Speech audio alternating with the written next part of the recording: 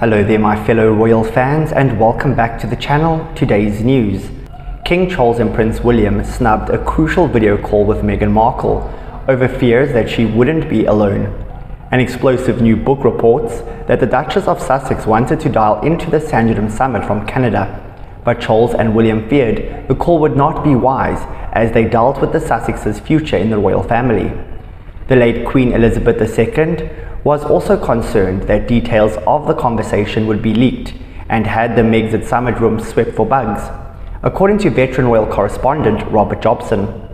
Mr. Jobson reports that key members of the royal family feared Meghan's video link could also be hacked if she were allowed to dial into the summit. Harry was left infuriated by Charles, saying he could not afford to pay for Meghan, according to a royal author. The monarch reportedly dropped a bombshell when he said he couldn't afford to pay for the Duchess of Sussex, as well as Camilla and the Wales family. Harry and Meghan's relationship with key members of the royal family has been on a downturn ever since the snub. Prince Harry made several accusations against King Charles, Prince William and other royals in his explosive memoir Spare, including details of an altercation with William that ended in a dog bowl being smashed. The Sussex's Netflix docu-series Harry and Meghan also did little to cool tensions with the palace when it was released in December. The Queen said Harry and Meghan's criticisms of the royal family were quite mad, Mr. Jobson reports, as she was privately puzzled by the couple's antics.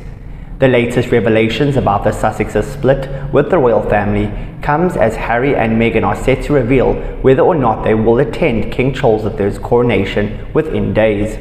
The palace expects Prince Harry to attend the momentous occasion on May 6th, but doubts still linger over whether Meghan will make an appearance at the event.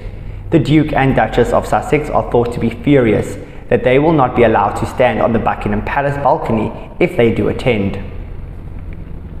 Alright, royal news for today done and dusted. Please do like, comment and subscribe for more and stay tuned to the channel for the latest royal family news. Goodbye for now.